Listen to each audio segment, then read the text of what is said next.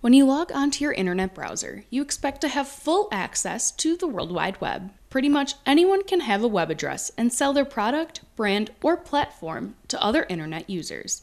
This is what's called the open internet or net neutrality. Net neutrality essentially has to do with fair play of transport of internet traffic so that when an end user is requesting something, they get that on a first come, first serve, or first in, first out basis without any kind of mitigation or that traffic being subject to any kind of pricing game or or preferential treatment. This is the way the internet has operated for almost 20 years. In that time, the Federal Communications Commission has developed regulations for the web, which have changed over time. The current chairman of the FCC, Ajit Pai, introduced a new plan in May of 2017 to evaluate the current rules of internet freedom. Pai proposes that the FCC classify broadband internet as an information service, a designation first established during the Clinton administration, and decrease legal regulations on internet service providers. Many members of the public and politicians have opposed the plan, saying it would reduce or get rid of net neutrality altogether. U.S. Senator Gary Peters is one of those opposed to Pai's plan. If net neutrality goes away, Peters said larger communications companies could charge more money for individuals to have a faster internet connection or favor the activity of some web users over others. The internet was built on equal access to everybody, and it's been an incredible, incredible thing for folks. Uh, but once we start then saying some people will be treated more equal than others, uh, we start moving away from what's important to, to the, with the internet. One of his main focuses as a senator has been to provide internet access to those even in the most remote areas of Michigan. We are working very hard to get internet access and high speed internet access to everybody.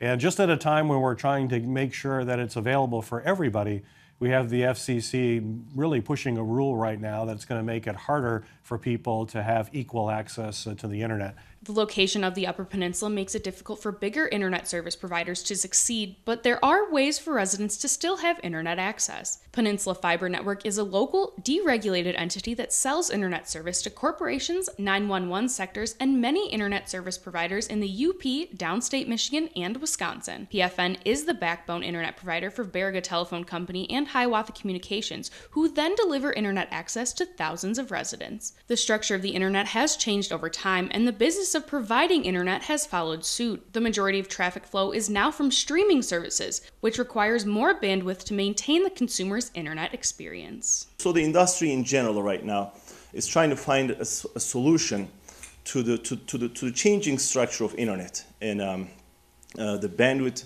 per capita utilization is, is, is increasing explosively basically, uh, much more than we ever ex experienced before. The three companies currently do not restrict what consumers do with their internet service, and the companies are not looking to change that, although it is unclear how Pai's proposal will impact their customers. We, we want to give a, a broadband pipe to the end user and let them get whatever network services uh, they would like uh, without restricting or uh, now that said you know we don't know how it's going to play out um, you know, across the whole country. The business plans may change.